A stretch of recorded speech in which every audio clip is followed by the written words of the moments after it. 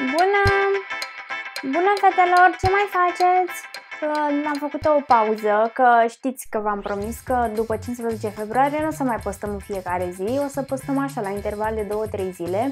Ei, între timp am fost un pic aglomerați, că am fost și la un botez, am și lucrat, dar acum o să facem iarăși, o să începem o serie cu Anca te învață și astăzi, de fapt, rămăsesem de data trecută să facem coafura lui Jim din episodul 65. Ei bine, asta o să facem uh, în acest uh, episod. La idea es que vayamos todas con el mismo look. No puedes destacar tú sola.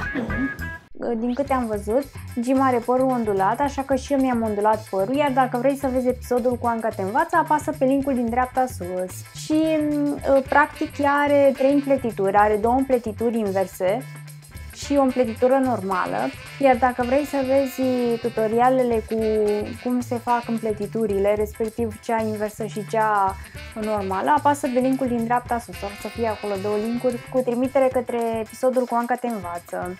Bun, și începem. Deci, o să mi selectez părul. De preferat că m-a întrebat cineva că nu ies cărările. E bine să aveți un um, pieptăn din acesta cu o codiță mai subțire pentru că ajută atunci când faci cărările gata. Adică e mai ușor pe atunci când selectezi părul. Dacă nu ți iese din prima, nu-i problemă. Încerci de mai multe ori. Important e să-ți iasă la final. Contează de câte ori încerci. Bun, și după ce mi-am selectat partea aceasta de sus, de la urechea stângă la urechea dreaptă, bun, și o să îmi partea aceasta de jos, pentru că nu o să vreau să mă deranjeze atunci când împletesc. O să-mi fixez partea aceasta cu un cu un cleștișor, am un cleștișor de păr pe care o să mi-l uh, fixez ca să pot să care, deci o să-mi fixez partea aceasta de sus și partea cealaltă o să o fixez cu un elastic. Și acum revin la prima parte și o să o împart în trei părți și pe aceasta. Bun, prima parte, deci mi-am împărțit prima parte și mai îmi fac încă două.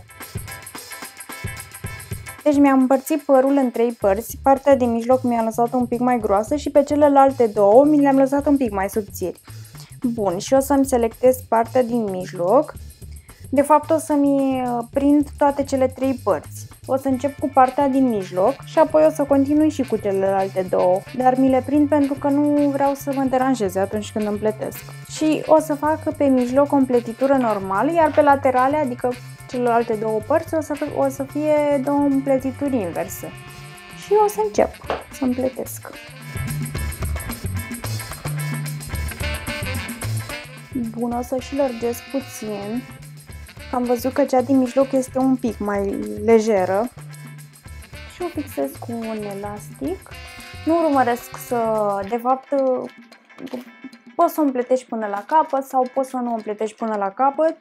Eu am ales să o împletesc totuși până la capăt, dar la final oricum o să le prind pe toate trei într-o codiță și restul uh, împletiturii o să, o des, o să o desfac. Aceste două împletituri sunt un pic mai strânse decât prima.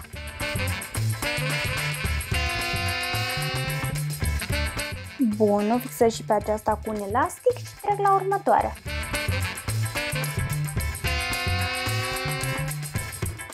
Bun, o fixez și pe aceasta cu un elastic. Și acum, după ce am terminat cele trei împletituri, o să le prind pe toate într-o goliță la spate. Așa. O să-mi desfac restul uh, împletiturilor. Adică o să-mi desfac uh, restul din coadă, cum ar veni. Bun. Elasticul o să mi-l ascund cu o șuviță de păr. Așa, o să-mi desfac restul părului. Și aceasta este coafura lui Jim. Asta este coafura lui Jim din episodul 65. Și acum să vedem care o să fie coafura pentru episodul următor.